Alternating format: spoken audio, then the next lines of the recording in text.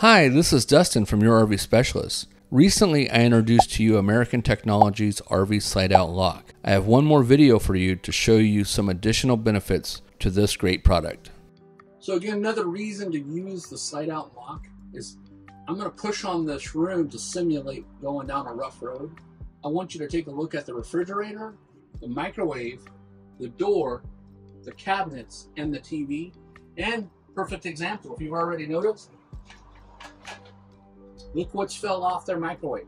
So shaking and vibration from the slide out room, you know, what's causing that? It's also caused by the suspension. So keep in mind, you know, you have a galley countertop in here too. This guy's getting shook as well. So here we go. I'm going to simply push on this and I want you to watch all the movement that it does. The refrigerator doors are moving.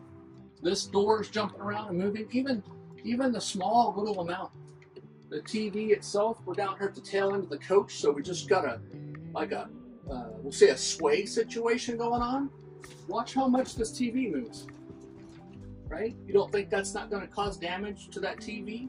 It's causing damage to this whole entire slide out.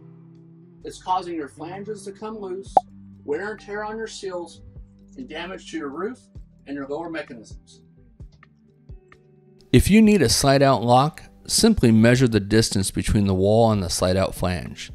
This distance will need to fall between the compressed and extended length of their three size offerings, linked below. Thank you so much for watching.